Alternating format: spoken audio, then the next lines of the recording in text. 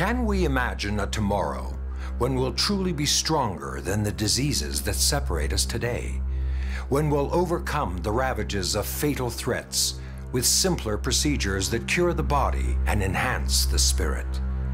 This day may arrive sooner than we think. When it does, a greater understanding of our genetics will be at hand.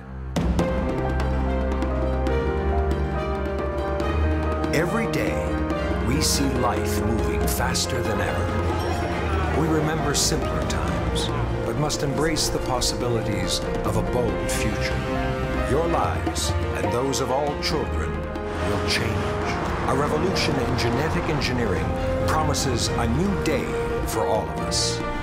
We have the capacity and facility to change the very nature of humankind. And there's a lot of debate about what you should allow and what you shouldn't allow. There's going to be a whole spectrum of things that are possible. A lot of it will be very uncomfortable with. Genes are not Legos. It's not like Mr. Potato Head where you change a gene like sticking on some new part. These issues are not just beyond our imaginations, but beyond our natural moral sentiments or even intuitions. Our imagination, our science, combining to form a new fingerprint of us, the human race. So these technologies, which are now in a formative stage, will be a million times more powerful within 20 years. It really will transform who we are. We could easily live healthier for a lot longer.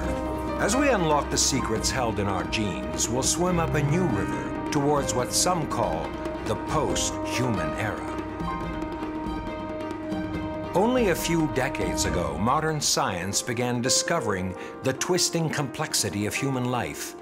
This future could only be foretold by a visionary like Alvin Toffler, who made his prediction decades ago.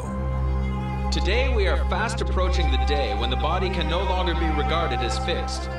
Man will be able, within a reasonably short period, to redesign not merely individual bodies, but the entire human race.